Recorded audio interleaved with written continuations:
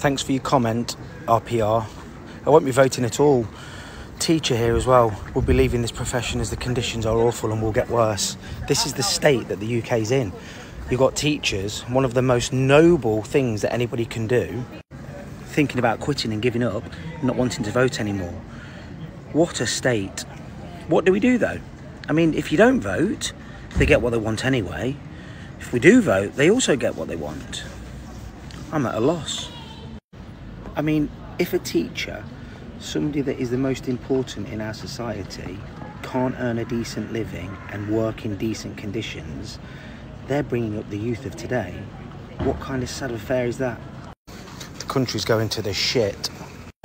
The hospitals are crumbling, the doctor's surgeries are full, you can't get a dentist appointment. We really are looking at the end of times. Surely something's got to give. Let me know in the comments what you think.